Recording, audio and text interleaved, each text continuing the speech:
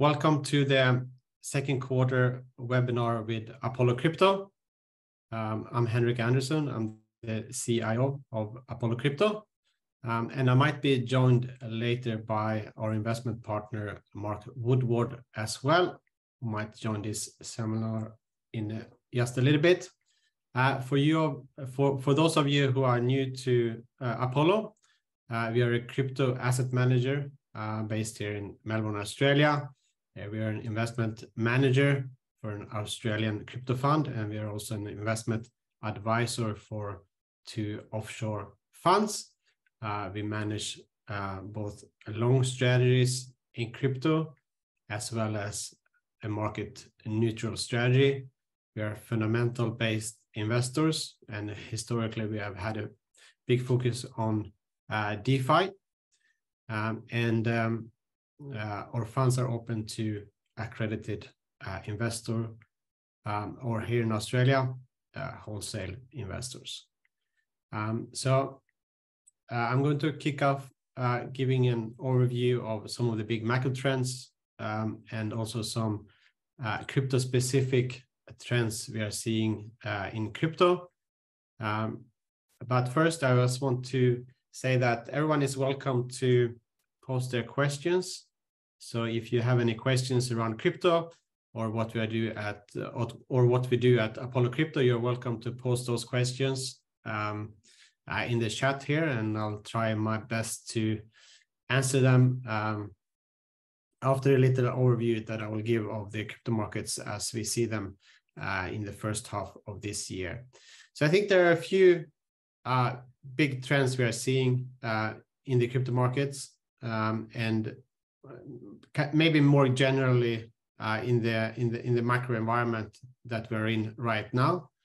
Um, so uh, towards the end of 2021, uh, we saw a big change when it came to central banks. Uh, they started tightening, uh, which was a big change from the macro environment we had been in for quite a while. Uh, interest rates were close to zero percent, but uh, in the beginning of 2021, uh, we saw inflation coming up, um, and that triggered the central banks to change their stance on interest rates.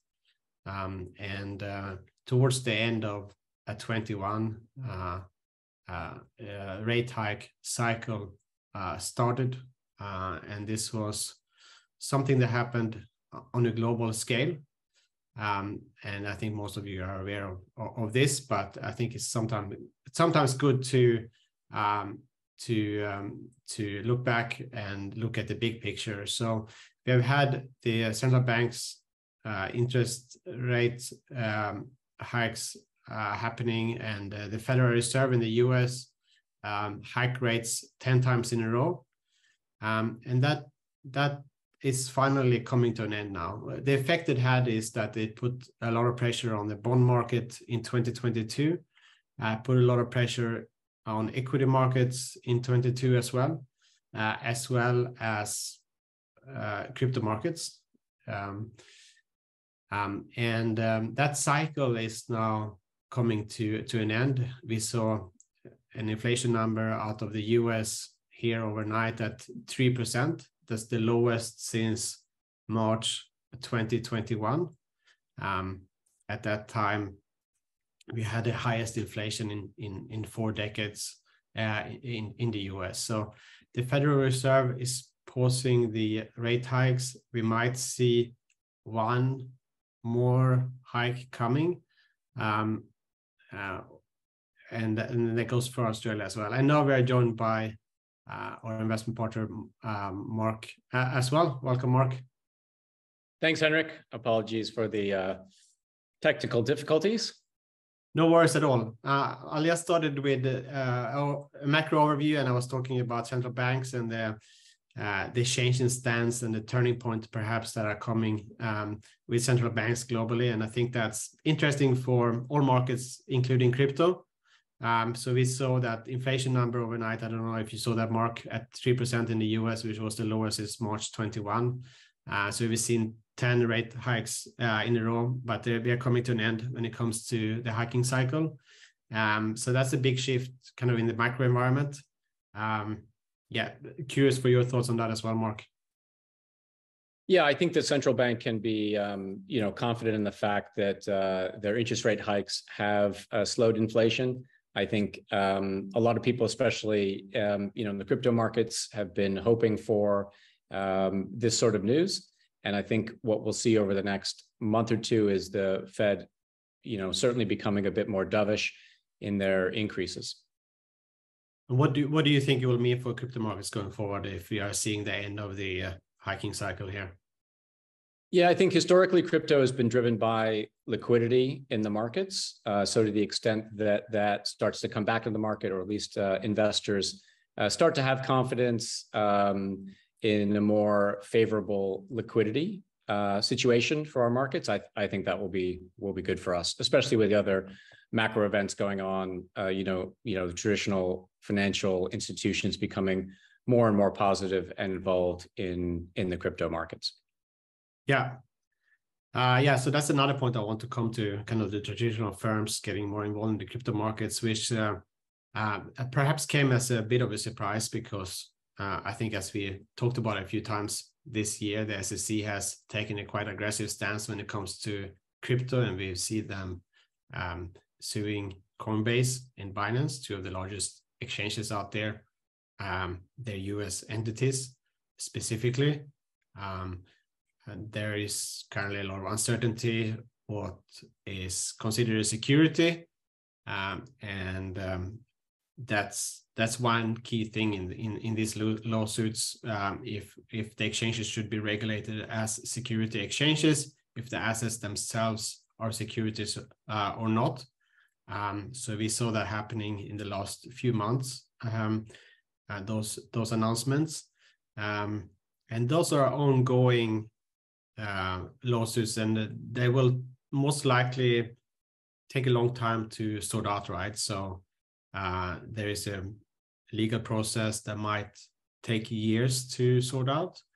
Um, I think there are at least hopes out there that we will see kind of regulation in place, perhaps before you know these lawsuits come to a conclusion.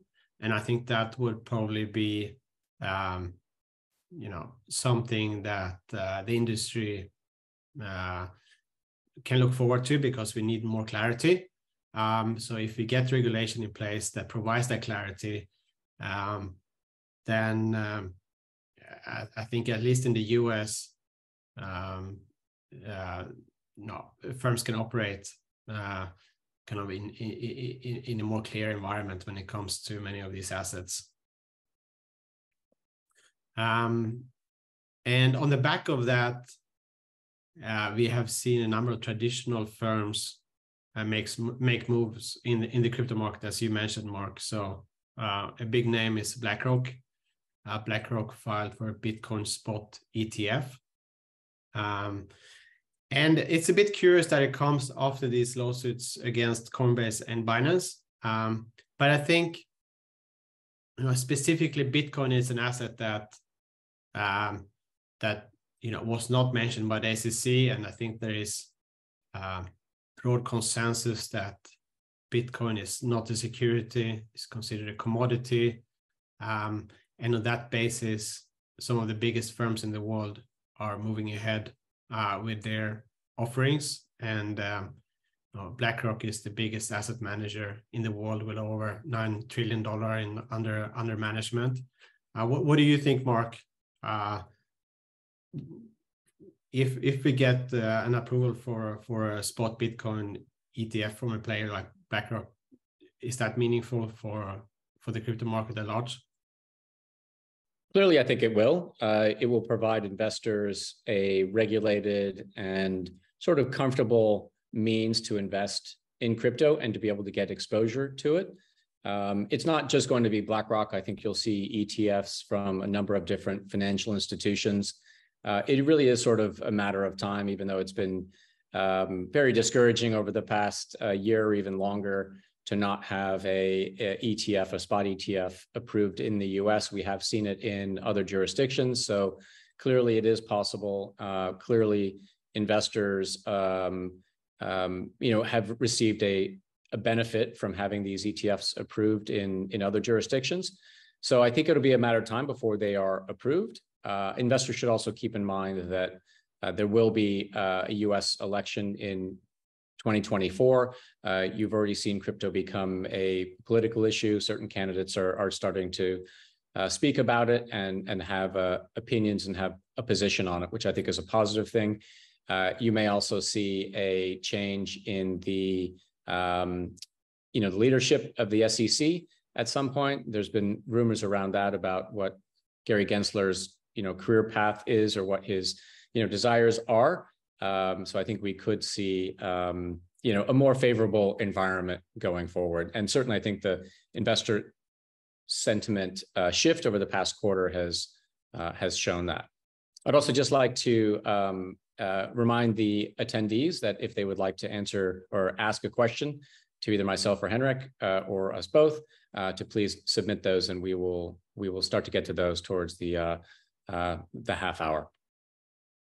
Yeah, and uh, may, maybe also important to remember that the U.S. is not the only, uh, you know, the, the, the only you know country here that are regulating crypto. Uh, we have seen the European Union uh, enact uh, MiCA, uh, which will come to effect in the next couple of years. we are seeing um, Hong Kong, for example, um, regulate exchanges. Um, we see um, you know a lot of activity in places like Singapore and Dubai as well. So uh, US is not the only market uh, out there, even if it's uh, certainly very important. Um, but we have seen a number of traditional firms, which I think is interesting, and it's definitely been one of the big narratives this year. BlackRock being one of them, others being Deutsche, who who is looking at the custody side. There is a institutional crypto exchange called EDX that is that that I believe went live recently that are backed by Charles Schwab, uh, uh, Citadel, um, and um, and I believe Fidelity. Um, we have seen other ETF providers as well file for spot Bitcoin uh, ETFs like WisdomTree. So um, I think that's interesting to see, especially in in in light of the SEC action.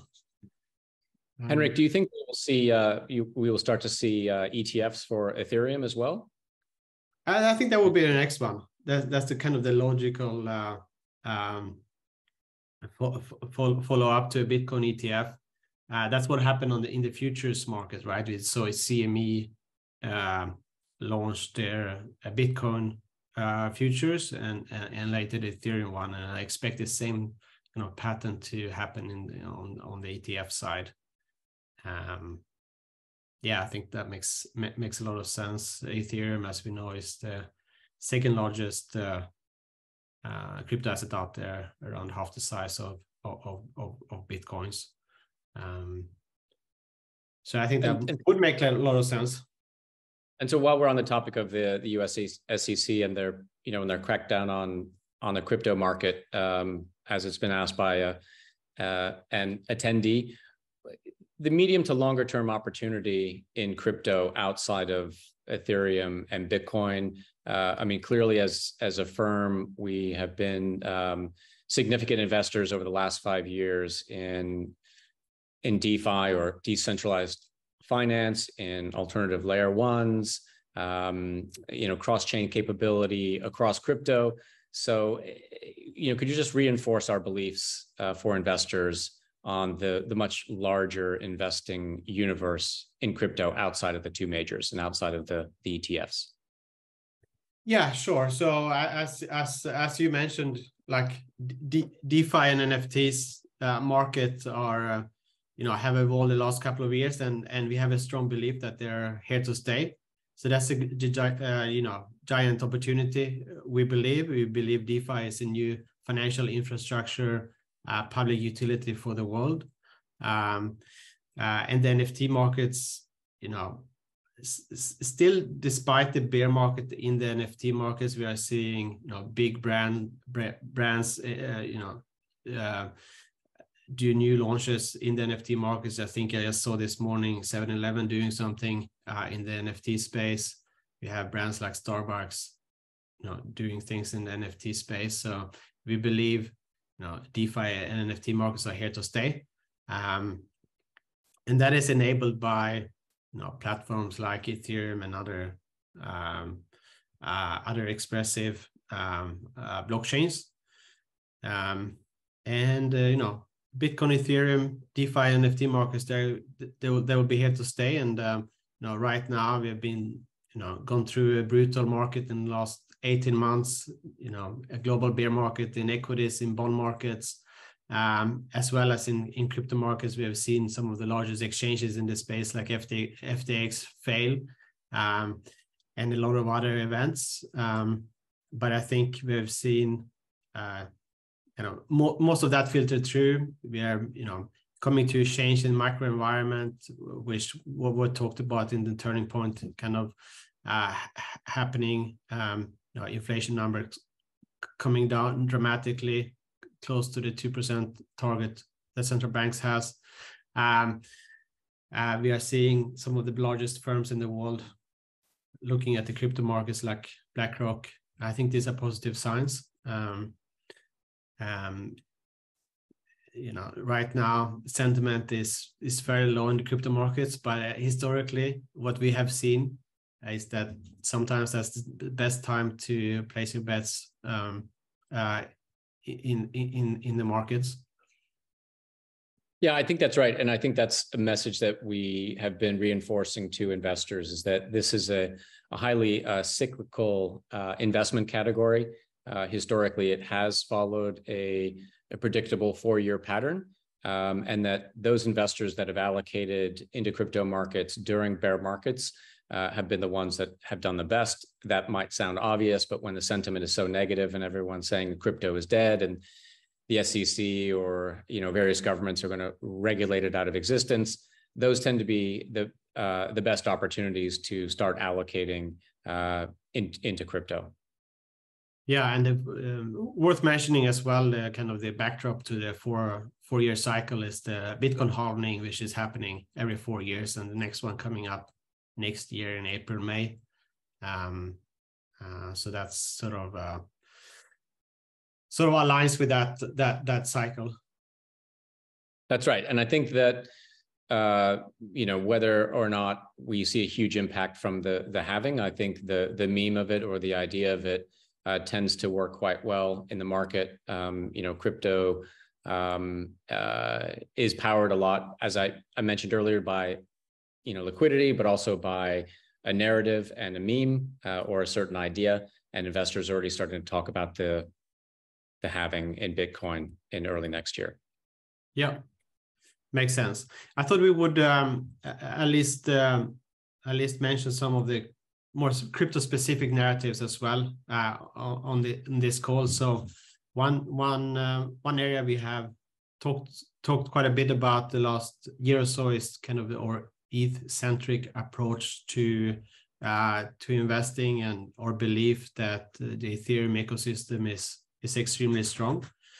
Um, so I think that's worth reiterating, and I think that's playing out quite nicely. Uh, we have seen the rise of Ethereum layer twos, which enables enables scaling of the Ethereum network. So in our portfolio, you know, we have assets like Optimism, OP, Arbitrum, Polygon. Um, so I think um, you know that that growth. I think we, we we continue to see. We also made a number of primary investments, you know, related to that uh, theme, if you like most re recently Eigenlayer, which is the restaking network for, for Ethereum. Um, and also Swell. Swell is a liquid uh, staking derivatives derivative on Ethereum, which you know have grown a lot in the recent recent weeks um, since it launched, and it's now one of the top ten uh, liquid staking derivatives out there, and it continues to see uh, really nice nice growth. So I think that thesis is is playing out very nicely. Um, on the primary side, we have also seen the launch of uh, um, of a new AMM called Maverick, which we were early seed investors into, and so we were very happy with that launch. They're quite innovative um, in their design, uh, doing um, doing something called uh, concentrated liquidity. Um, and uh, yes, great to see that that launch, and they uh, did a public launch as well together with Binance. So that was great to see, being long time long time supporters. Um, Henrik, could you could you just explain what a AMM is for our investors and and sort of why that's important and what are some of the tokens that are being traded on on Maverick and and why that's important to those people who who want to trade them? Yeah, sure. I, I, I can maybe give a very brief overview. So AMM stands for Automated Market Maker, uh, and that's how we uh, trade assets on the blockchain. Uniswap was one of the first AMMs to launch um, three, four years ago now. They're by far the biggest one in that space. Um, and AMMs are an alternative to using centralized exchanges like Coinbase or Binance. Um, and we have seen a lot of innovation in that space. Uh, Uniswap, which I mentioned, have innovated. They are now operating on their V3, and they recently announced their version 4 of Uniswap. Um, Maverick is um, uh, doing something that is very capital efficient. So capital efficiency is important for the investors that are providing the liquidity to these AMMs. So that's where Maverick has been innovating. So they're very capital efficient, meaning that compared to the liquidity, their volume is very high. And they specializes in, in especially when it comes to like for like assets. So those are things like stable coins or something like uh, uh, liquid staking derivatives, like we mentioned, Swell. So Swell ETH uh, has one of the biggest markets on Maverick. Um, so that's what Maverick is. They're you know multi-chain as well. So currently they're on Ethereum mainnet as well as zkSync, which is one of these L2 rollups.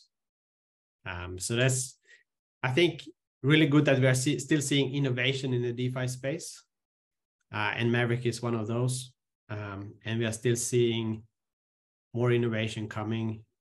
We are seeing innovation in the on-chain derivatives space as well, where we have been very active. So, for example, we're looking now at the primary investment in the options um, field, and that's a project that are really innovating in that space. So, when we do our primary investments, that's something we look for.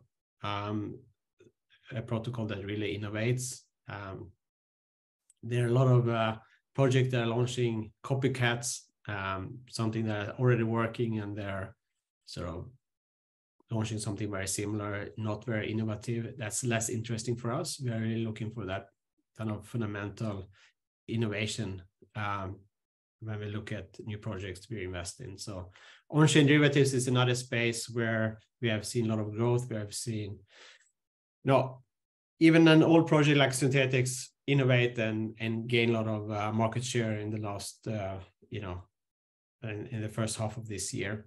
Um, and I, I, believe we will see more more innovation in that space. We have seen you know the futures market, the perp market, again a lot of traction in the on-chain derivative space. Uh, and um, I mentioned options, and options might be the next you know, subsector within on-chain derivatives where we see where we see a lot of growth ahead.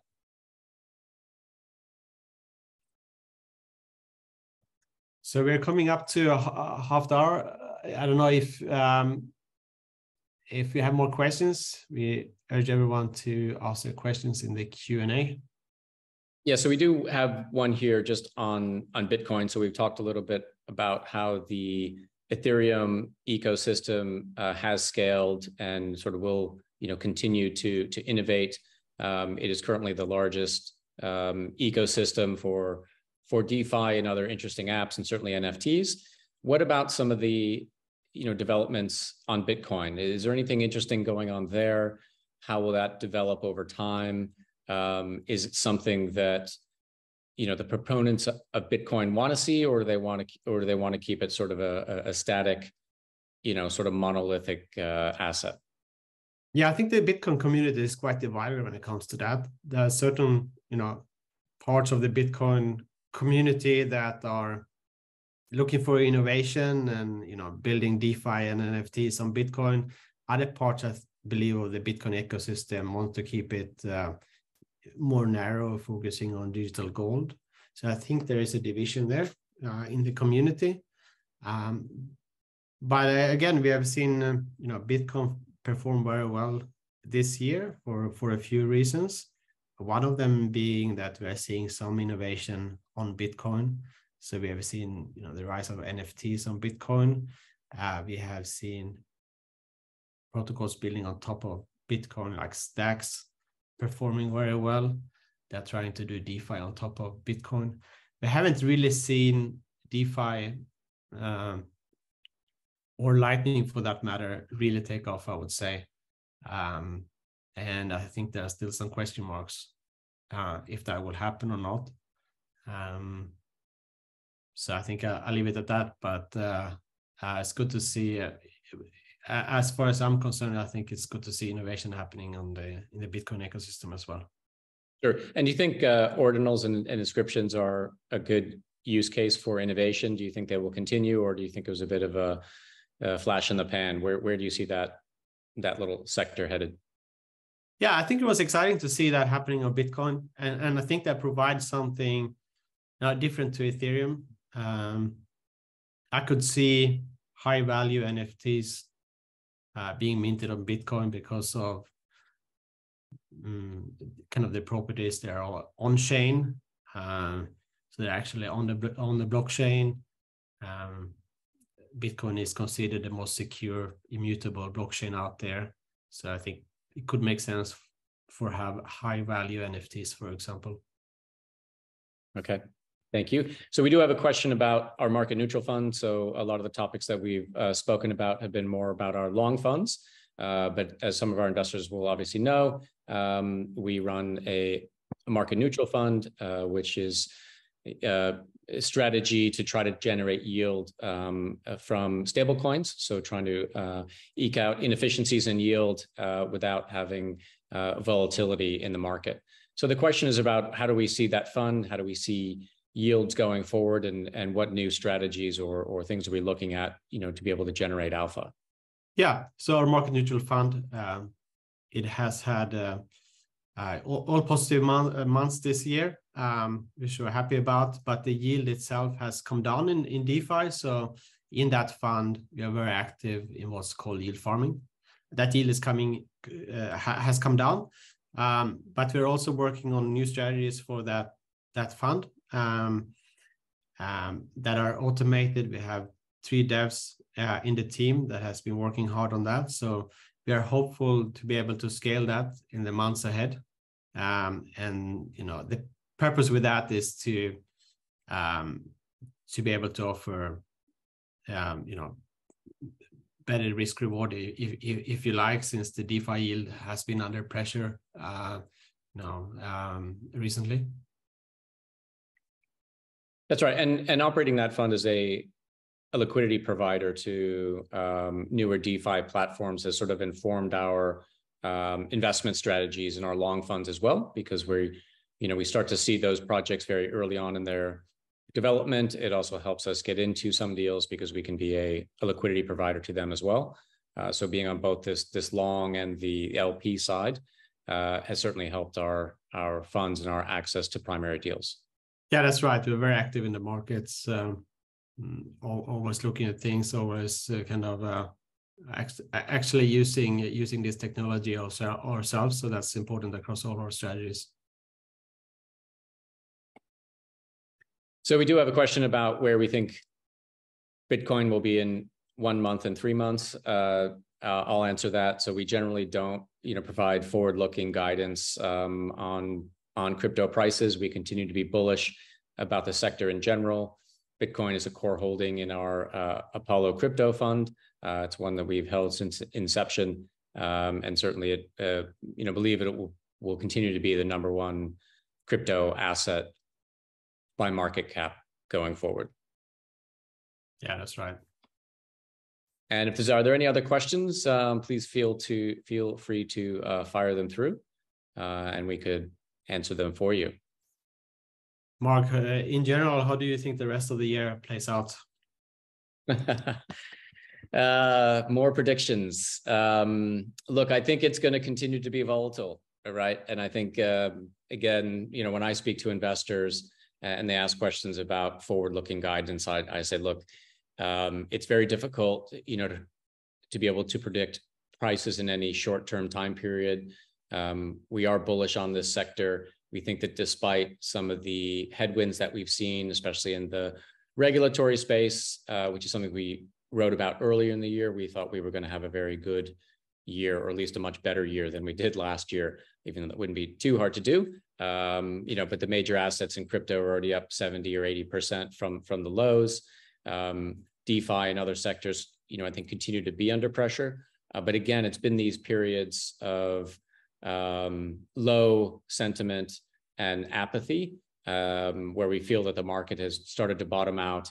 Uh, most of the forced sellers and and the leverage has been washed out of the system. Historically, have been good times to be able to start to allocate to crypto. Um, again, we always advise uh, investors to do their own research uh, and to invest according to their risk profile. So that's my very guarded answer. Uh, any more questions coming in here? Um... Uh, let's see. Um, so uh, there is a question about AI. There's been a lot of um, AI hype uh, with regard to trading bots. Is this a space that Apollo is um, investing in or is starting to consider?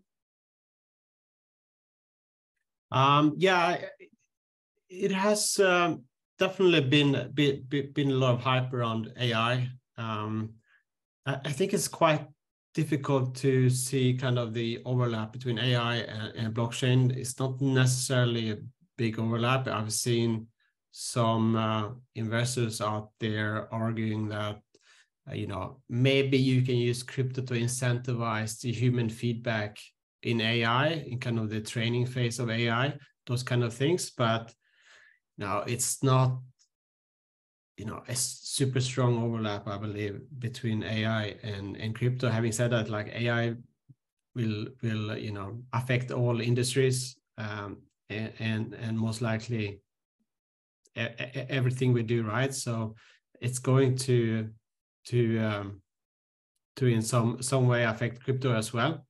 Uh, but um, you know, there's I don't think there is a kind of a natural overlap, if you like, if you like.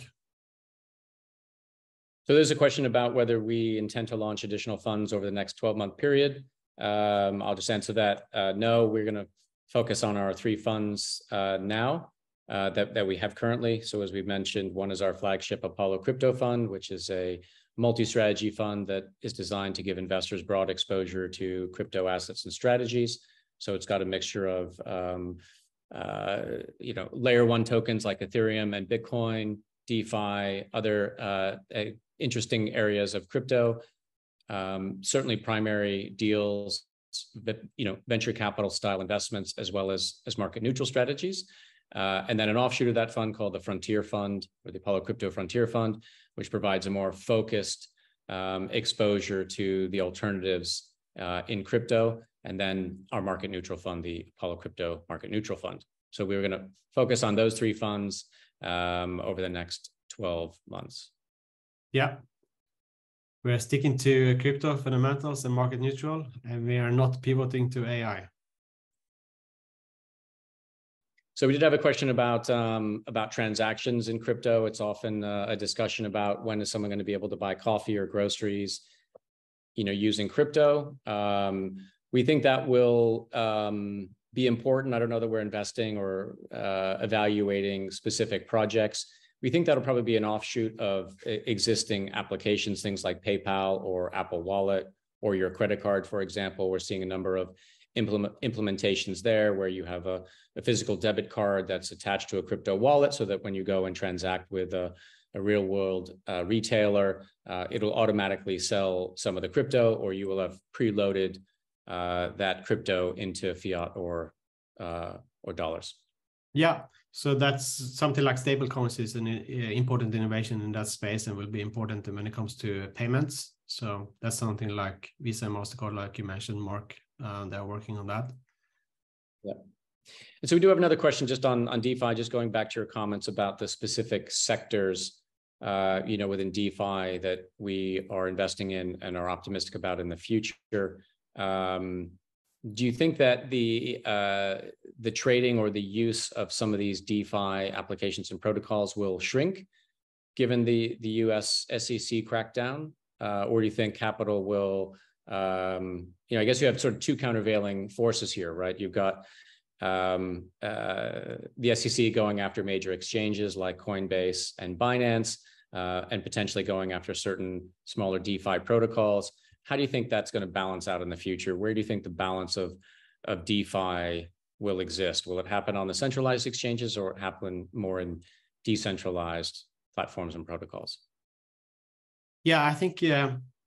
One thing that we have seen happening is that uh, I think some people realize that uh, you know DeFi has the benefit that you don't have to trust a third party. Um, so I think after the collapse of FTX, I think we are seeing some more activity in, in DeFi, people trading in DeFi instead, don't, you know, keep the custody of your assets. Uh, and uh, that's the kind of one of the great benefits of the technology. Um, and we are seeing you know, exchanges moving into the DeFi space as well. Uh, Binance launched uh, Binance Chain a few years ago. Coinbase is now supporting a new Ethereum L2 called Base that is uh, will be launched in the next month. Um, so we're seeing actually the centralized some of the centralized players supporting this new decentralized innovation. So I think we will see more activity in the DeFi space.